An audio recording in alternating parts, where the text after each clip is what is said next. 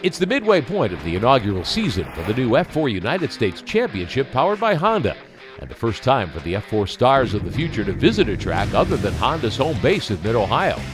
The weekend at New Jersey Motorsports Park near the Jersey Shore, a fast and fun weekend full of action. Race 1 Saturday, Jackie Ding from Shenzhen, China, driving the Group A Racing 86 car, and fast qualifier Cameron Das from Baltimore, Maryland, and his JDX Racing Honda both got out of shape on the opening lap. That opened the door for one of the series veterans, Jim Goughary Jr. from Florida, who blasted through to take the lead. His fellow Floridian and teammate Kyle Kirkwood followed suit. The two Primus Racing drivers ran 1 2 the rest of the way, with Goughary earning his first F4 US Championship victory. Oh man. Kind of speechless. Want to say that was for my parents. My dad's been in the hospital for about a month now, and it's been a long month. So, see you, Dad. I'll tell this Honda Power car worked great. I gotta thank Crawford for building such a fantastic car, Pirelli tires.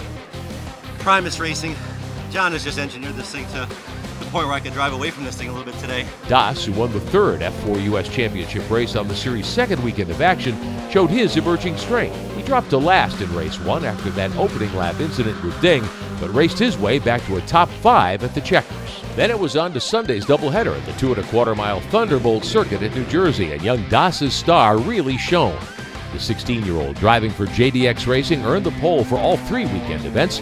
On Sunday, he launched into the lead quickly in both 30 minute races.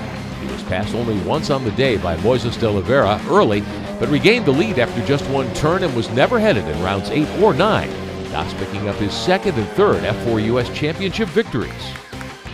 It feels great, you know, this is a completely different track. Uh, we had no idea what we were going to do coming into it, so it's good to know that we're, we're cooking more than one place. The podium was identical in both Sunday races. Skylar Robinson from Georgia drove his Momentum Motorsports Honda to third in both events, while Konrad Czaczk of Florida, who swept the series opening weekend, ran second both times. Cameron wasn't pulling away from us too much. I was running pretty consistent lap times. I'm pretty satisfied with the second place overall.